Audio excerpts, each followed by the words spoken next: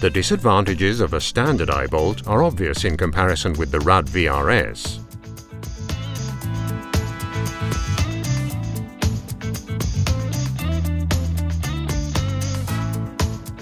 A standard eye bolt inevitably turns in the direction of pull. Unlike the RUD VRS, can be fitted without tools thanks to the attached Easy Fit key. The VRS is freely movable and adjusts automatically to the direction of pull.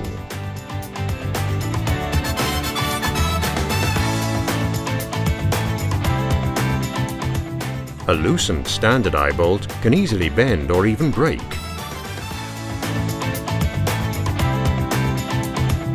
In contrast, the RUD VRS stays firmly attached, thus making a crucial contribution to more safety.